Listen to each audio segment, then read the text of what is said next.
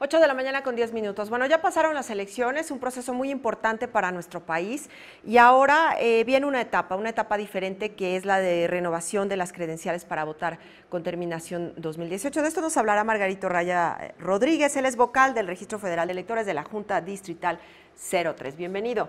Buen día. Gracias. Este, no, pues, sí, adelante. Antes que nada, gracias por el espacio que nos brinda la, este, la televisión para sobre todo para comunicarnos con los ciudadanos, invitarlos a, una vez que ya pasaron, como dices, las elecciones, pasó todo el, ese, ese, proceso tan complicado, los módulos de atención ciudadana que tenemos en el Estado, volvemos a reiniciar nuestras actividades de, relacionadas con la credencial del elector. Bien. ¿Cuáles son los, las credenciales que podemos, bueno, tenemos aquí ya nuestra credencial lista, eh, yo estaba mostrándole la mía, la mía ya tiene que ser renovada, ¿por qué? Mira, todas las credenciales, este, como la tuya, que ya es 2018, tienen vigencia hasta el 31 de diciembre. A partir del 31 de diciembre, esa credencial deja de ser vigente, incluso como medio de identificación. Ya las instituciones bancarias, las crediticias y algunas otras con las que hay convenio con el instituto, dejarán de tenerlas como vigentes ya.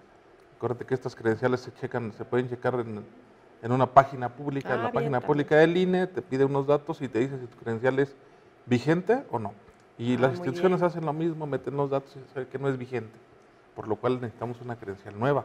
Bien, pero eh, para cuestiones más básicas o más fáciles quizá es darle la vuelta a nuestra credencial y si tiene recuadros con los números, ahí es donde uno tiene ya que renovarla, porque ya las nuevas no tienen estos recuadros con números en la parte de atrás. Así es, la credencial que se emitió con vigencia hasta el 2018, como la que tienes fue la última.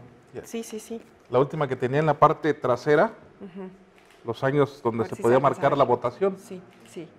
Entonces, este, aquí tiene 2018, que es tu credencial, el 31 de diciembre pierde vigencia para votar y para, y para no tenemos elecciones este año, pero como identificación. Entonces la invitación es a que las personas se acerquen ya para hacer esta renovación y que no lo dejen al último, es decir, ya a finales de este año. Así es, a partir del 2 de julio, nosotros un día después de la elección estuvimos ya, estamos ya prestando el servicio de, de actualización de la credencial del elector. Bien ya podemos hacer cualquier tipo de trámite, inscripción, corrección de datos, cambio de domicilio, reposición, reincorporación, cualquier dato que queramos corregir o inscribirnos por primera vez para los jóvenes que no pudieron votar porque no se inscribieron a tiempo en, el padrón, pues ya estamos. Ya se puede hacer. Nosotros actualmente tenemos en las principales ciudades de Tlaxcala, como es Apizaco, Tlaxcala, Huamantla, Calpulalpan, Zacatelco, San Pablo del Monte, Chautempan, módulos fijos.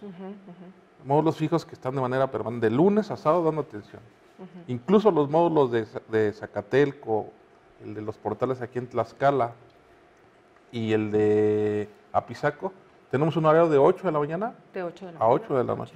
Horario corrido, para ah, que los ciudadanos que no puedan en la mañana, pues vayan en la tarde o viceversa. Bueno, pues ahí está la invitación, se nos termina el tiempo. Le agradecemos que haga aquí este llamado a las personas. Entonces, ¿lo ideal es hacer una cita o ya no? Ya tenemos citas. Si la gente tiene alguna prioridad de tiempo, pues haga su cita y no tiene que perder mucho tiempo en hacer filas, ¿no? Entonces, el, sistema de citas está abierto para que los ciudadanos puedan hacerlo, utilizarlo y hacer uso de ese, de ese beneficio que tiene. Perfecto, pues muchísimas gracias por hacer aquí este llamado importantísimo para hacer la renovación de nuestra credencial para votar. Muchas gracias. Gracias a ustedes. Buen día.